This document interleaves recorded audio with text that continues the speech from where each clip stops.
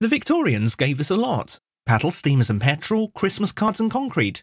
They also gave us a lot of the invasive vegetation that we see on our green and brownfield sites today. One of these Victorians, Philip Franz von Siebold, a German traveller and botanist, took a trip to Japan looking for pretty new plants that he could market and sell.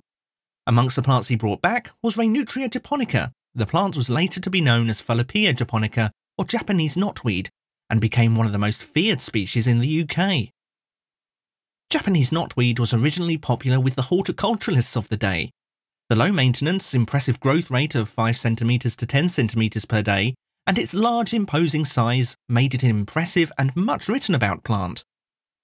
But it wasn't just the horticulturalists and Victorian gentry that saw the potential of this plant.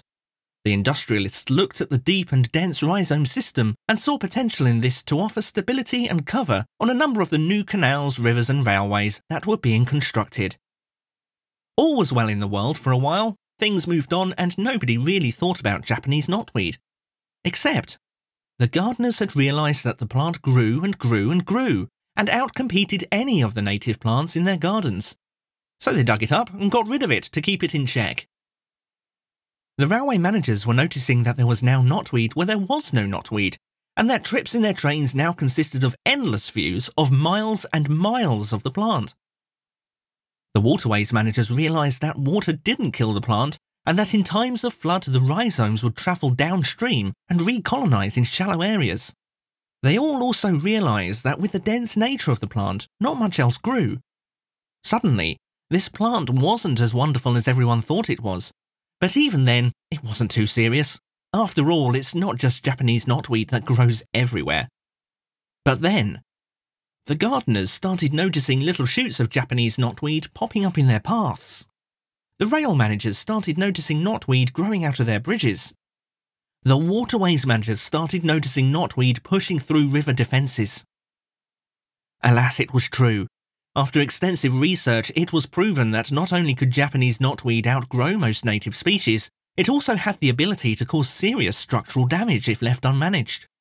Keen to protect the UK, the regulators sat down in 1981 and the Wildlife and Countryside Act was born. This made it an offence to plant, sell or spread Japanese knotweed. It was here that the battle really began.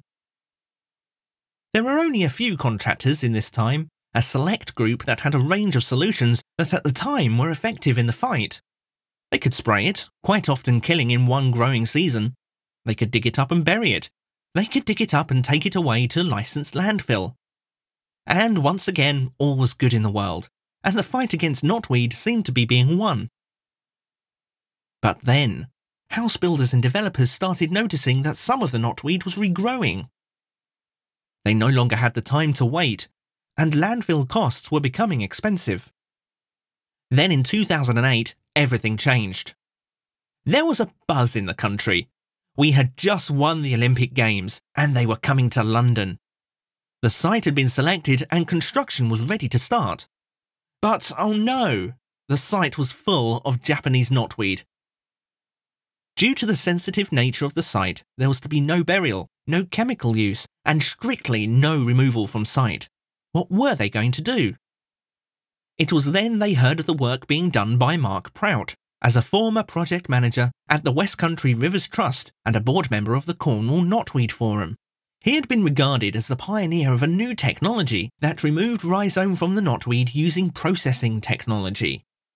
Two years and 200,000 metres cubed later, mechanical screening had been proven to be an effective solution. So how does it work? Well, it's quite simple really. All the Japanese knotweed is removed from the ground using standard machinery. This is then placed into a central hopper and distributed along a series of conveyors. Any material that contains rhizome of the plant is then sent to a picking station, where trained operatives remove all vegetation and place into bags for disposal off-site. Once the process is finished, you're left with two grades of usable material that can be reintegrated into the site, and a volume of finer material which is placed under a 600mm capping layer. But after doing this a number of times, we noticed some problems. The screening unit needed to be delivered on very big pieces of equipment. It needed a lot of room on site. The solution? Well, the solution was to try and find a low impact, efficient portable screening unit that could process smaller volumes of material using the same principle as the larger, proven screening units. So the owners of Ebsford Environmental, Mark Prout and Nick Hartley, put their heads together and the EnviroScreen 2020 was born. Based on American units, the EnviroScreen 2020 has been heavily modified and fitted with bespoke conveyor systems, Operated and managed by our in-house teams, we are able to process up to 600 cubic meters of material per week. So what does this mean for you? It means you can build what you need to build quickly, regardless of if that's a school, offices or housing. You save money, and you are specifying a sustainable greener solution which can count towards BREEAM credits, and give you a well-deserved pat on the back. As with all our solutions, you get our insurance backed warranty, so you can rest assured you are covered even if something does go wrong. We are also founder members of INNSA, which are the association and trade body for the invasive vegetation sector. And of course, we have all the usual accreditations. And just as important, at Ebsford we like to be professional, but with a smile on our face. So whether it's initial contact, consultancy and surveys, or our site teams, you know you'll always get a great service and a big smile along the way. And if you do need us, you can always call us, and we'll be delighted to help. So thanks for listening, and we hope you've enjoyed learning about knotweed and our EnviroScreen. We'd love to hear from you in the future, so here are our contact details.